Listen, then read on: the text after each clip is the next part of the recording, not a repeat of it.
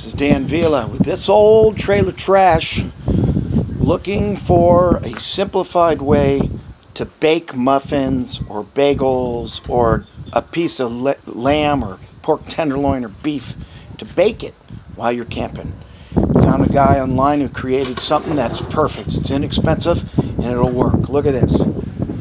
So here's your single burner stove, right?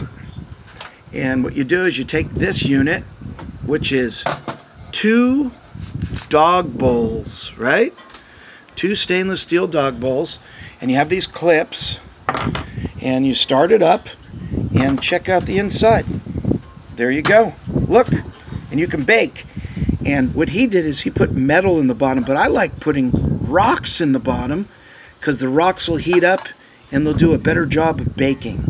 So I'm looking forward to this one. This is going to be the bomb. I'd like to get more of these clips though with the rubber. They're perfect. Three of those and you're styling. So this has been another fine episode of This Old Trailer Trash.